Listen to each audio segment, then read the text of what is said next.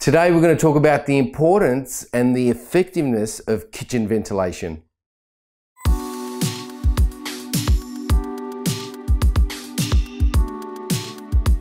Okay, Joseph, so kitchens can either have gas or electric cooktops. From a ventilation perspective, how can that change things? Typically, we have two different strategies in ventilating a kitchen.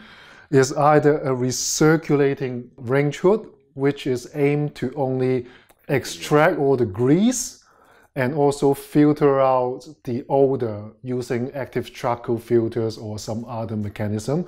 The second type of ventilation system, exhaust or range hood, is the one that extract the air from your kitchen out. But where would that air end up into is a different story. A lot of the time we assume the air is being extracted to outside, mm. but in fact it is quite common in Australia that the kitchen exhaust is only being bring into your roof space, the attic. What is the actual purpose of a range hood? The purpose of the range hood is primarily remove any grease, odor, Yeah. and reduce the moisture produced from cooking. Yep. And that's the reason why we have two different types of um, range hood system. One is recirculating, uh, which using a series of filter, including different types of um, metal filters to catch the grease, and then use um, carbon filter to take out the odors.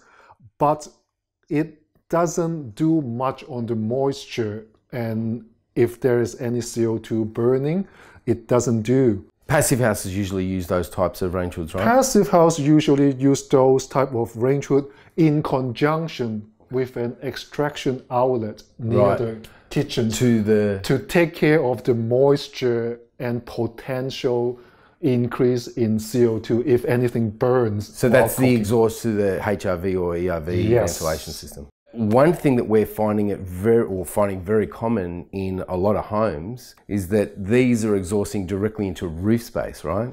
which is from my point of view a definite no no. Yeah. Don't even think about doing that.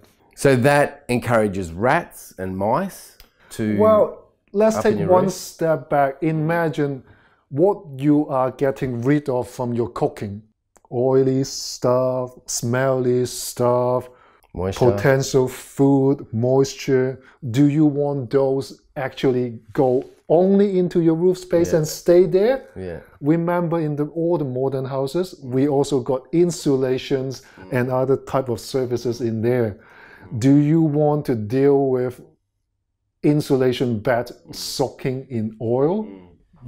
Not, really. It, it, it, the sound of it is disgusting enough, let alone the potential risk that come with it.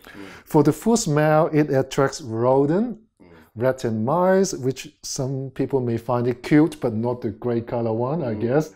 The accumulation of grease in your roof space may increase fire hazard, as well as in some extreme case, if you love to do deep fry in your stove, there may be enough grease got trapped, so oil stain may show up in your ceiling plasterboard. So it's a definite no-no. Yep. So the other thing is that draft stoppers need to be maintained as well because you've got all that grease. there Oh, needs, there should be a draft stopper integrated in these things, and that's For one thing sure. to always look out for. So this one has a draft stopper in it, and it's been ducted and then vented via a metallic flue, not not plastic for a kitchen, right? No, no, no. You can't use plastic because of the potential fire hazard.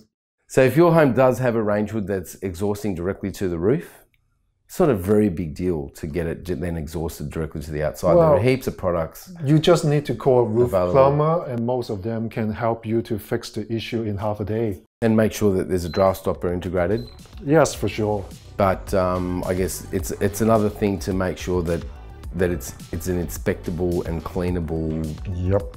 damper. Yep.